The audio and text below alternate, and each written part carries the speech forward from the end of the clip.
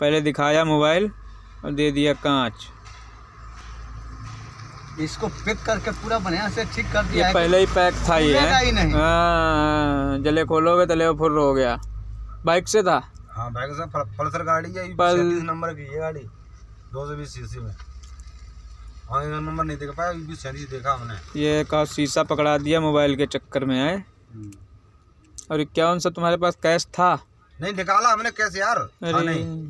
निकालने भी गए वहाँ तक? नहीं वहीं जन, एक जनसेवा केंद्र थी। वहाँ पे कौन सी जनसेवा केंद्र आ गई? एक थी यार वहाँ पे।